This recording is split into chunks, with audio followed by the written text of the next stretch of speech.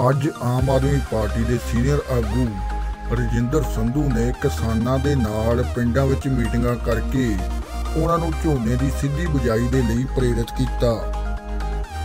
ਰਜਿੰਦਰ ਸੰਧੂ ਨੇ ਕਿਸਾਨ ਭਰਾਵਾਂ ਨੂੰ ਅਪੀਲ ਕੀਤੀ ਕਿ ਧਰਤੀ ਦੇ ਹੇਠਲਾ ਪਾਣੀ ਬਚਾਉਣ ਵਾਸਤੇ ਇਸ ਵਾਰ ਕੱਦੂ ਤੋਂ ਬਿਨਾਂ ਸਿੱਧੀ ਝੋਨੇ ਦੀ ਬੁਝਾਈ ਕੀਤੀ ਜਾਵੇ।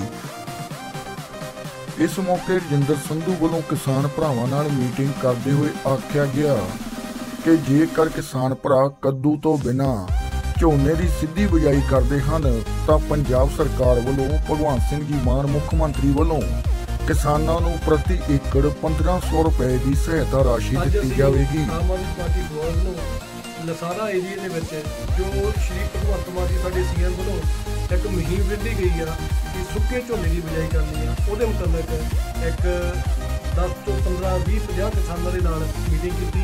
ਉਹਦੇ ਵਿੱਚ ਕਿਸਾਨਾਂ ਨੂੰ ਸਿੱਧੇ ਝੋਨੇ ਦੀ ਬਿਜਾਈ ਤੋਂ ਜਾਣੂ ਕਰਵਾਇਆ ਗਿਆ ਅਤੇ ਜੋ ਪੰਜਾਬ ਸਰਕਾਰ ਦੀ ਸਕੀਮ ਹੈ 1500 ਰੁਪਈਆ ਪ੍ਰਤੀ ਏਕੜ, ਉਹਦੇ ਨਾਲ ਉਹਦੇ, ਉਹਦੀਆਂ ਜਿਹੜੀਆਂ ਸਹੂਲਤਾਂ ਨਾਲ ਜਾਣੂ ਕਰਵਾਇਆ ਗਿਆ। ਤੇ ਜਿਹੜੇ ਇਸ ਇਲਾਕੇ ਦੇ ਕਿਸਾਨ ਆ, ਉਹਨਾਂ ਦੇ ਵਿੱਚ ਸਿੱਧੇ ਝੋਨੇ ਦੀ ਬਿਜਾਈ ਪ੍ਰਤੀ ਬਹੁਤ ਉਤਸ਼ਾਹ ਪਾਇਆ ਗਿਆ ਹੈ। ਇਹਦੇ ਨਾਲ ਇਹ ਲੱਗ ਰਿਹਾ ਹੈ ਕਿ ਇਸ ਵਾਰ ਜੋ ਕਿਸਾਨੀ ਆ ਕਿਸਾਨੀ ਜੋ ਪਾਣੀ ਦੇ ਬਚਾਅ ਦੇ ਲਈ ਕਿਸਾਨੀ ਅੱਗੇ ਆਊਗੀ ਤੇ ਸਿੱਧੇ ਝੋਨੇ ਦੀ ਬਿਜਾਈ ਜੋ ਪੰਜਾਬ ਸਰਕਾਰ ਦੀ ਸਕੀਮ ਆ, ਸ਼੍ਰੀ ਭਗਵੰਤ ਮਾਨ ਜੀ ਦੀ ਸਕੀਮ ਆ, ਉਹਨੂੰ ਪੂਰਜੋਰ ਸਮਰਥਨ ਦੇਵੇਗੀ।